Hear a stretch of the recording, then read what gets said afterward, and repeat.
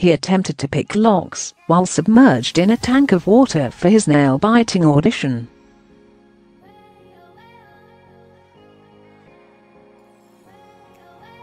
and escapologist Matt Johnson was forced to call on paramedics for Britain's Got Talent live semi-final on Monday night.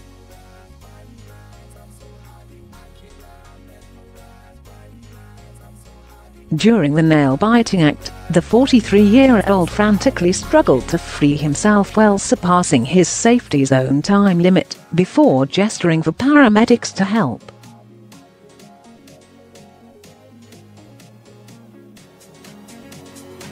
Before his performance began the Daredevil admitted there a good chance he could die, and was putting himself through hell on earth to do the dangerous stunt.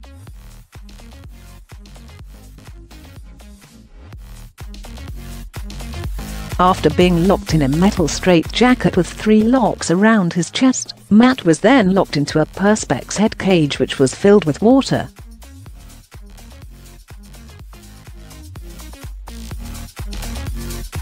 As the seconds ticked by, the escapologist looked like he was doing well as he managed to get rid of his handcuffs and started work on his straitjacket.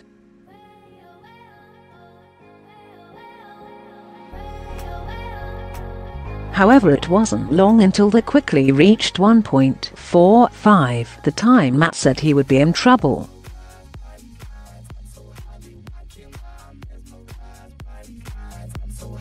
Paramedics could be seen entering the stage as he flailed his arms around in a desperate bid to free himself, before calling for help.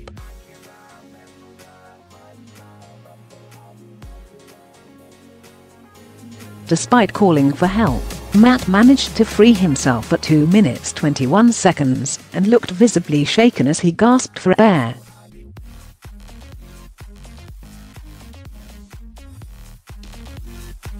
Following the stunt, Amanda Holden said, Oh my god I really hate it, I hold my breath with you for the whole thing.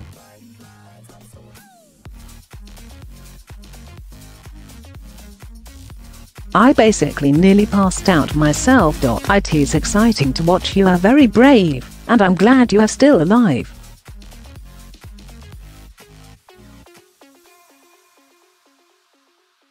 Apostrophe Despite nearly facing death Matt failed to make it through to Sunday night's live finals.